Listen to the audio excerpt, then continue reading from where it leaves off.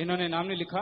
प्यारे स्वामी जी, हमारा निजी रिश्तेदार तांत्रिक है। उसने हमारे घर के अंदर जीन, प्रेत छोड़ा हुआ है। उसकी वजह से ना तो हम मालिक का नाम ले सकते हैं और स्वामी जी, हमारा कारोबार भी बंद है। हमें रास्ता दिखाएँगे आप खाना नाम जप के बनाइए। सारे इकट्ठे बैठ के सुमन किया करो, भजन बंदगी किया करो और कोई जिन जुन सब उड़ जाएँगे, कुछ नहीं रहता। आपके कर्मों का चक्कर है, कर्म ही जिन बन जाते हैं।